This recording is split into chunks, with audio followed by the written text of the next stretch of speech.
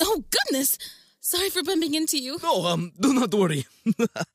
it is my fault for looking over my sheet music instead of looking in front of me. You're a musician then? I dabble, um, two million views on my biggest hit so far. Two million? That's unbelievable! You would be surprised how little it really is. Well, my father runs Dearest Records. Perhaps a partnership might bolster your audience? Really? Are you sure? You haven't even heard any of my music yet. Well, I guess you'll just have to play some for me. I can't say I'd mind. Your voice alone is quite charming. Uh, oh, um, uh, yours is nice too. I am Tabi. Where did it all go wrong?